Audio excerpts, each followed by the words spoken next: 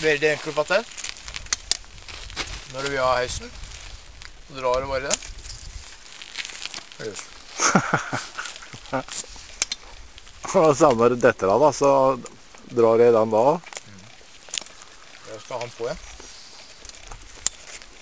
Sånn.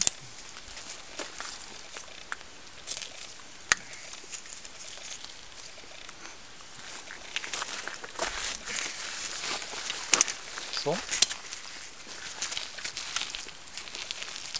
Napper det bare til. Skjønner? Du er flink.